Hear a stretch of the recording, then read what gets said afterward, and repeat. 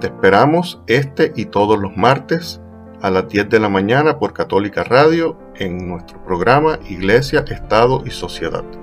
Un espacio producido por el Instituto de la Doctrina Social de la Iglesia de la Pontificia Universidad Católica de Puerto Rico y donde estaremos discutiendo el magisterio social de la Iglesia y su aplicación a las realidades y particularidades de nuestra sociedad actual.